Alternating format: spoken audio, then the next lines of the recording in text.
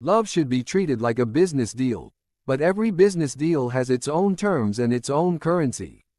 And in love, the currency is virtue. You love people not for what you do for them or what they do for you.